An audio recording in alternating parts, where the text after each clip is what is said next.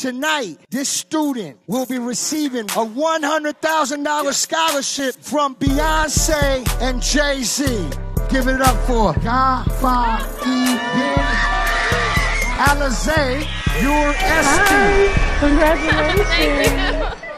Sean Murray, Still hasn't like kicked it. Like, oh my god. Michaela Lowry. Michaela, what's up? Isaac Guerrero. I so excited. I just broke down and started crying. Yeah, I greatly appreciate it. No, we appreciate you. So much. Congratulations. God bless you. Shaquem Paul, Shaquem Lauren Macasilhi.